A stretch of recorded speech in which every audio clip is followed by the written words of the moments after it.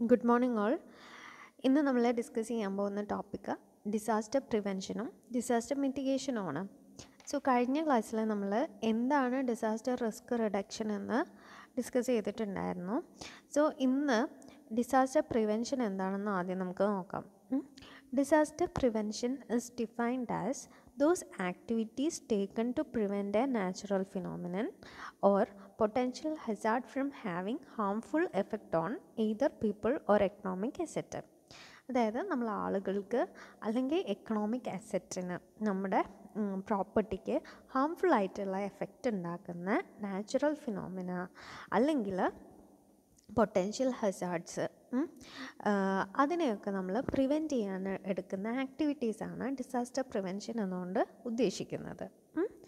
So broadly disaster prevention refers to measures taken to eliminate the root causes that make people vulnerable to disaster അതായത് നമ്മൾ ഈ ഡിസാസ്റ്ററിന് കാരണമാകുന്ന root causes എന്തൊക്കെയാണ്? ആ root causes കണ്ടുപിടിച്ച് അവിടെയാണ് നമ്മൾ ഈ പ്രിവെൻഷൻ എന്നുള്ള പ്രിവെൻഷൻ ആക്ടിവിറ്റീസ് അപ്ലൈ ചെയ്യുന്നത്. എന്നിട്ട് ആ റൂട്ട് കോസിനെ കണ്ടുപിടിച്ചിട്ട് അവിടെ പ്രോപ്പറായിട്ടുള്ള എങ്ങനെ ആ കോഴ്സസ് ഇല്ലാണ്ടാക്കാം എന്ന് നോക്കിയിട്ടാണ് നമ്മൾ എന്താണ് ഡിസാസ്റ്റർ പ്രിവെൻഷൻ നടപ്പിലാക്കുന്നത്. അപ്പോൾ the basics of disaster prevention എന്ന് പറയുന്നത് എന്താണെന്ന് നോക്കാം.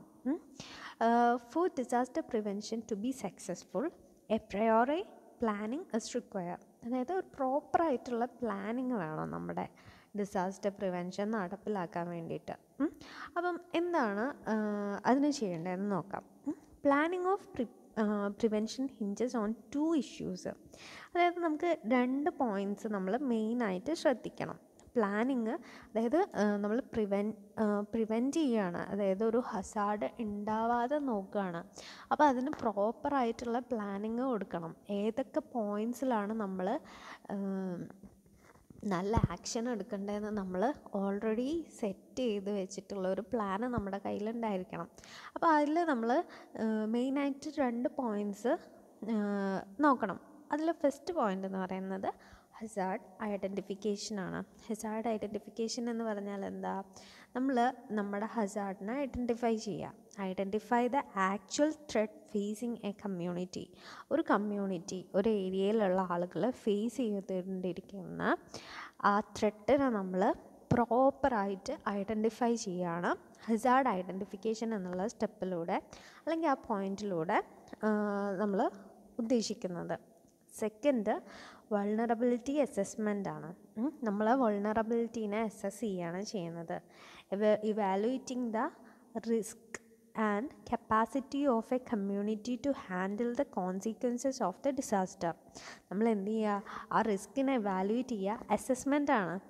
അതിനെ ഇവാലുവേറ്റ് ചെയ്യുക അതുപോലെ തന്നെ ആ ഒരു കമ്മ്യൂണിറ്റിക്ക് ആ വരുന്ന ഹസാർഡിനെ എത്രത്തോളം എന്താ ഹാൻഡിൽ ചെയ്യാൻ പറ്റും? അതിനെ എത്രത്തോളം പ്രതിരോധിക്കാൻ പറ്റും എന്നുള്ളതൊക്കെ നമ്മൾ ഇവാലുവേറ്റ് ചെയ്യണം സ്റ്റഡി നടത്തുകയാണ് ചെയ്യുന്നത്. അതാണ് വൾണറബിലിറ്റി അസസ്മെന്റ് എന്ന് പറയുന്നത്. അപ്പോൾ ഈ ഒരു രണ്ട് പോയിന്റ് നമുക്ക് കിട്ടിക്കഴിഞ്ഞാൽ നമ്മൾ ഹസാർഡിനെ പ്രോപ്പറായി ഐഡന്റിഫൈ ചെയ്തിട്ടുണ്ട്. അപ്പം നമുക്ക് ആ ഹസാർഡ് എപ്പോൾ ഉണ്ടാവും എങ്ങനെ സംഭവിക്കും ആരൊക്കെ എഫക്റ്റ് ചെയ്യും അങ്ങനെയുള്ള കാര്യങ്ങൾ നമുക്ക് കണ്ടുപിടിക്കാൻ പറ്റും.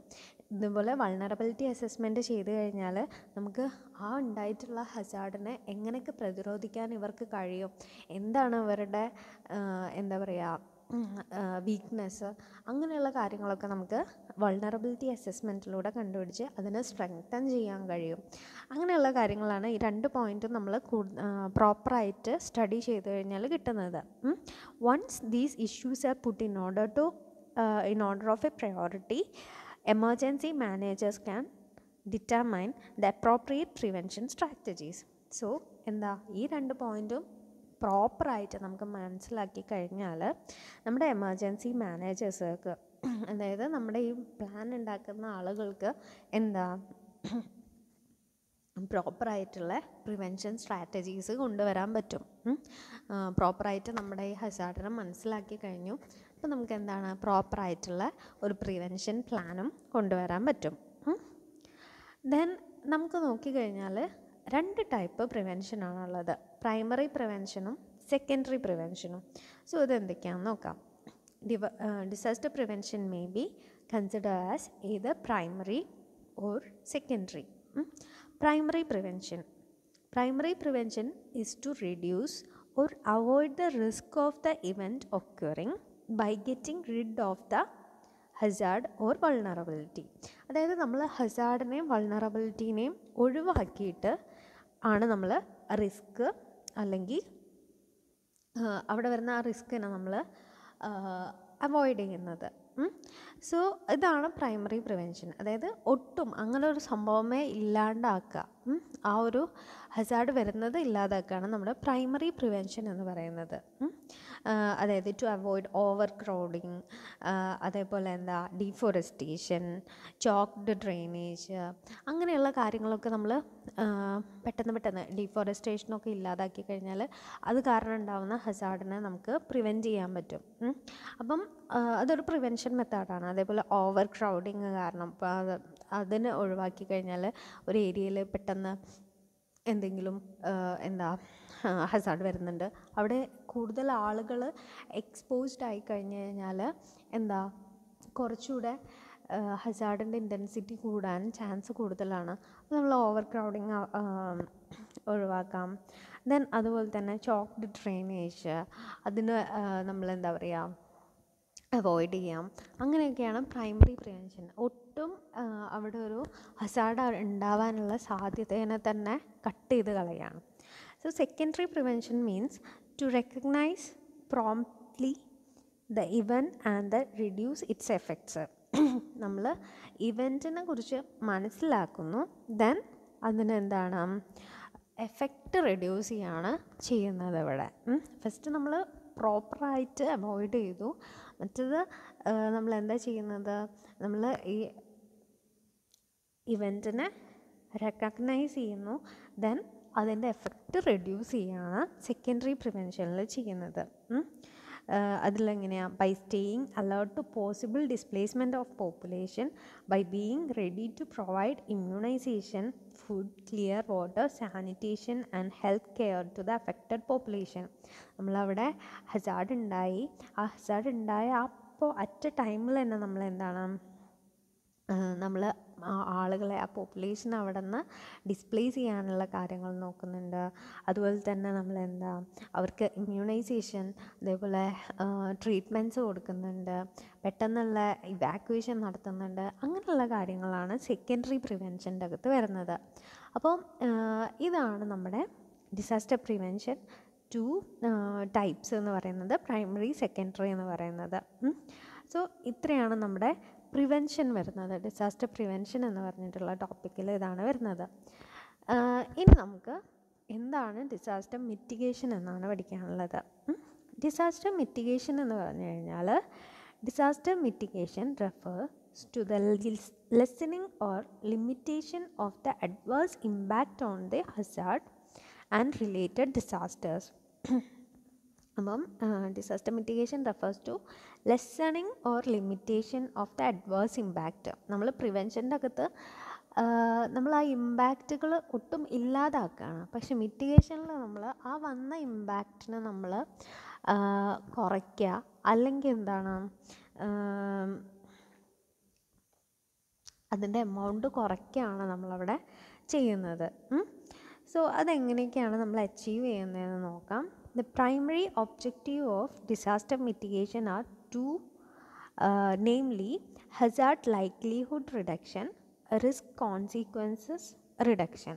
നമ്മുടെ മെയിൻ ആയിട്ടുള്ള രണ്ട് ഒബ്ജക്റ്റീവ് എന്ന് പറയുന്നത് ഹസാർഡ് ലൈക്ലിഹുഡ് റിഡക്ഷനും റിസ്ക് കോൺസിക്വൻസസ് റിഡക്ഷനുമാണ് അതായത് ഹസാർഡിനുള്ള സാധ്യതേന്റെ റിഡക്ഷൻ അതുപോലെ തന്നെ റിസ്ക് ഉണ്ടായിട്ടുള്ള കോൺസിക്വൻസസ് റിസ്ക് കോൺസിക്വൻസ് റിഡക്ഷൻ അത് രണ്ടുമാണ് നമ്മുടെ മെയിൻ ഒബ്ജക്റ്റീവ് എന്ന് പറയുന്നത് മിറ്റിഗേഷന്റെ ഒബ്ജക്റ്റീവ് എന്ന് പറയുന്നത്. അതാണ് ദെൻ ഹസാർഡ് ലൈക്ലിഹുഡ് റിഡക്ഷൻ എന്ന് പറഞ്ഞാൽ the objective is only appropriate for a few natural hazards as it is not possible to reduce the occurrence of many hazards അതായത് ഇതിന്റെ അകത്ത് വരുന്നത് നമ്മൾ ഇതിന്റെ അകത്ത് പറയുന്നത് എന്താണെന്ന് വെച്ച് കഴിഞ്ഞാൽ നമുക്ക് എല്ലാ ഹസാർഡ്സും ഒക്യൂർ ചെയ്യാനുള്ള പോസിബിലിറ്റി അതായത് ഹസാർഡ് ഒക്യൂർ ചെയ്യാനുള്ള പോസിബിലിറ്റീനെ നമുക്ക് ഇല്ലാണ്ടാക്കാൻ പറ്റില്ല.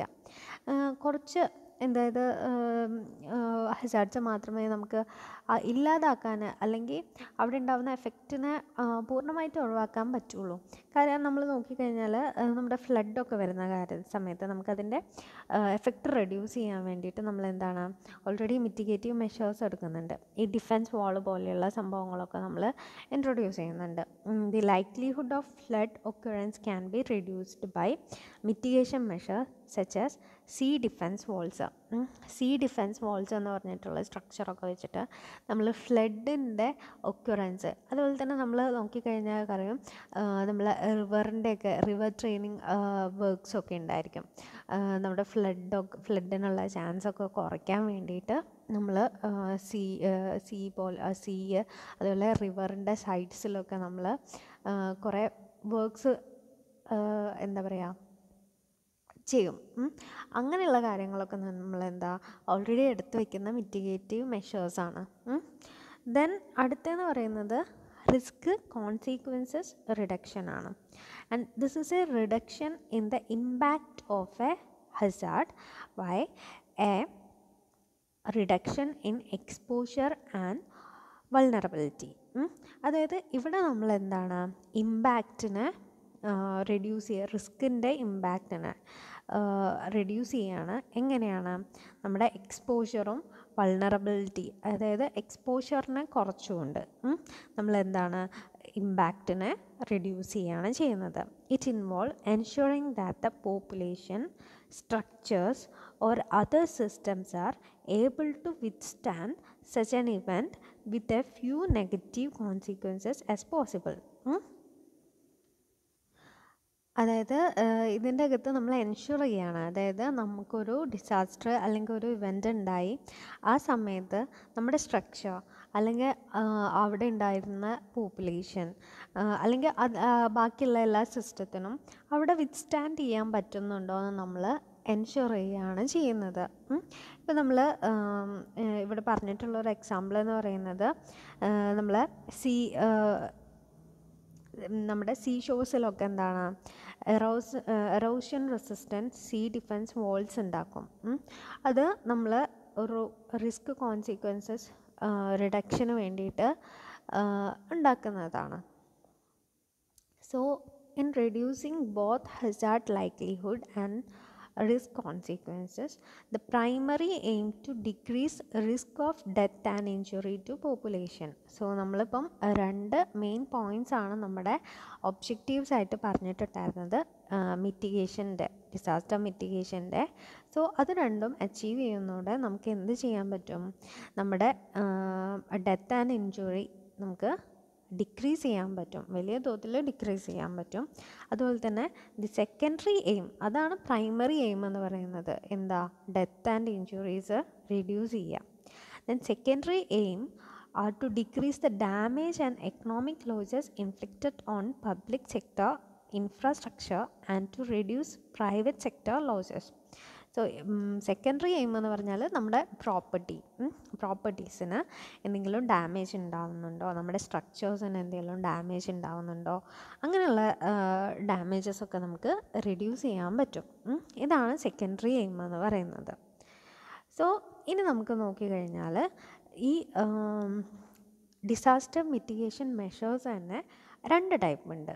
Broadly disaster mitigation measures can be categorised into two that is structural mitigation measures and non-structural mitigation measures ഇതിൽ സ്ട്രക്ചറൽ മിറ്റിഗേഷൻ മെഷേഴ്സ് എന്ന് പറഞ്ഞു കഴിഞ്ഞാൽ this refers to any physical construction to reduce or avoid possible impacts of dam uh, of hazard which include engineering measures and construction of hazards resistance and protective structures and infrastructures അതായത് structural mitigation മെഷേഴ്സാണ് നമ്മൾ ഒരു Hazard ഉണ്ടാവാൻ പോകുന്നുണ്ട്.